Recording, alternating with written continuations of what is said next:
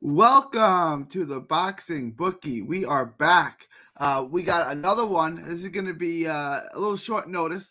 Uh, we're doing the show. Um, we're doing uh, the, Antonio Moran uh, versus Romero Duno fight, which is actually later today on Showbox.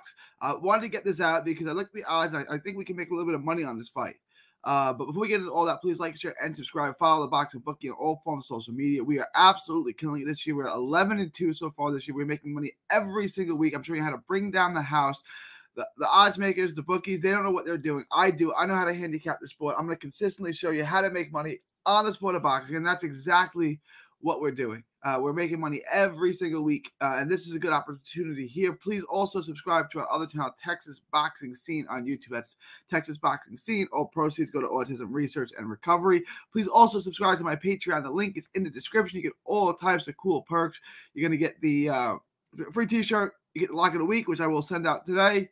I mean tomorrow. Uh, you get the lock of the week. You can re- request I handicap a fight. You can do a whole bunch of stuff, a, a ton of perks for just five dollars a month.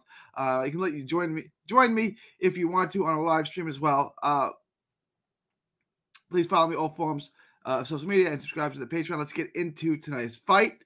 Um, that is Antonio Moran versus Romero Duno. I'm a big Moran guy. He's a good fighter. Uh, he's got wins over two Texans that I like. I respect Michael Dutchover and Kendo Tremendo Castaneda. Um, you know, I consider him a B level fighter.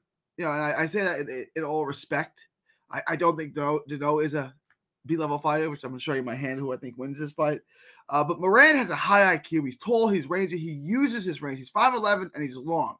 Um, you know, he's got a little bit of pop. It doesn't look like he does, but you can tell that he does. He stops people, he stops people with body shots. He's he's pretty good. Uh, he keeps the, the punches flowing really well. He keeps on the outside. He controls range, and, and this is how he wins fights. He controls range, and when he fights a guy like Devin Haney, yeah, he can't control the range of a, of, a guy that fast and athletic and, and crafty.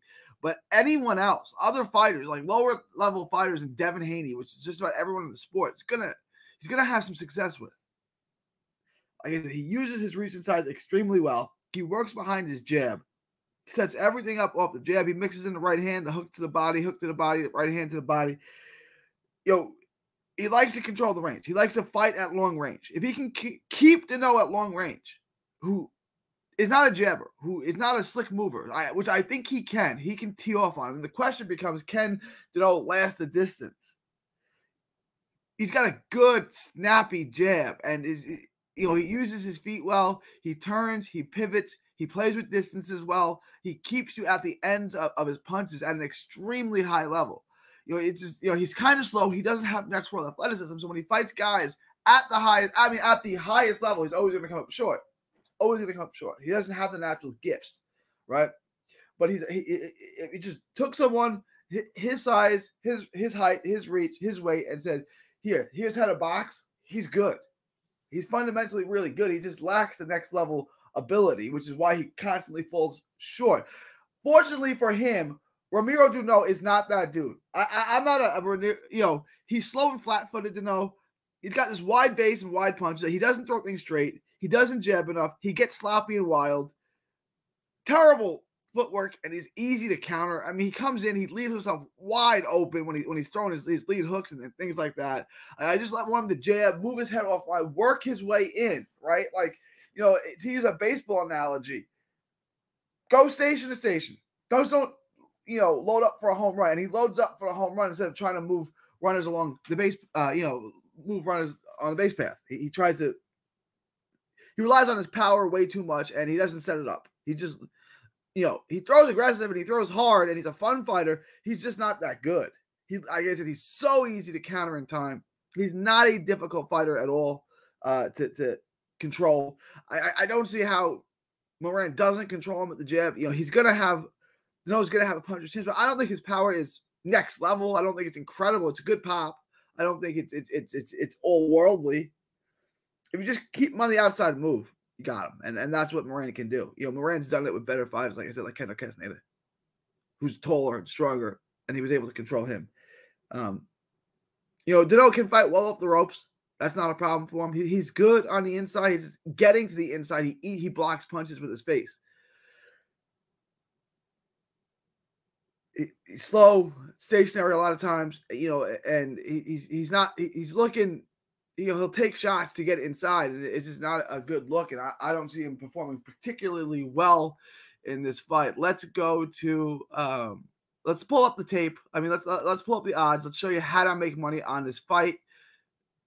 I got the wrong one pulled up. All right, hang on. Hang on. Let me get the right fight pulled up.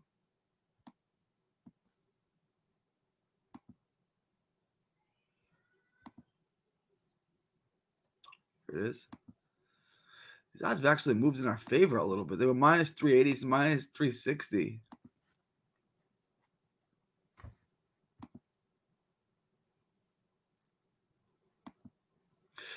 All right, so I would do. I'm really confident Moran. I would do a two times bet on Moran.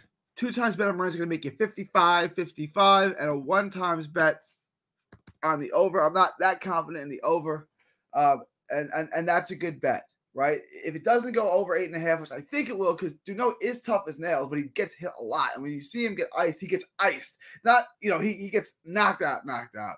Um, I do think it goes the distance, so that would make us 62 and 55.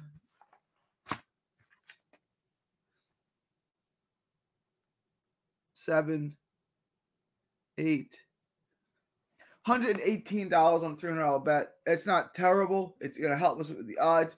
Uh, we need him to hit the hit the over eight and a half. If he doesn't hit the over eight and a half, we lose $44 on his bet. It's not the end of the world. I think it's worth it, right? Upside $118, downside 44. I don't think there's much risk at all in picking Moran to win this fight. Um, if you want to just, you know, put the extra $100 on Moran and, and, and not take the gamble, it's not bad.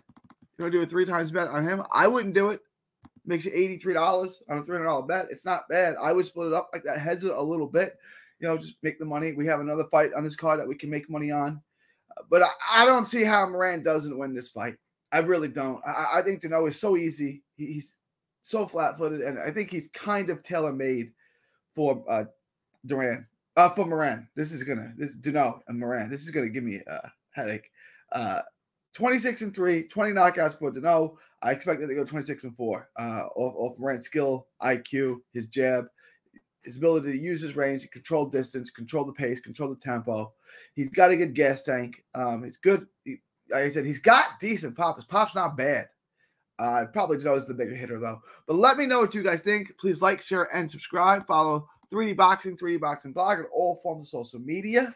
Uh, we don't gamble, but if you do, I always use DraftKings. DraftKings gives you good odds. It's really user friendly. The interface is really friendly to use. Uh, but I don't gamble. But if you if you do, I'm gonna show you how to consistently make money, how to bring down the house. There's always a bull market somewhere. Let's bring down the house together. Also, subscribe to my other channel, Texas Boxing Scene, that's completely dedicated to Texas boxing. Also, on the other uh my patreon. Please follow uh, subscribe to my patreon just five dollars a month. You get the lock of the week you get a free t-shirt you get a, a ton of stuff a ton of perks. Uh check it all out. That's our patreon. The link is in the description. It is january 31st 2024 from texas to the world thank you and god bless. Don't miss a tweet, post, story, or video. 3D Boxing is on Twitter, Instagram, and Facebook. Hit the subscribe button now to stay inside the ring.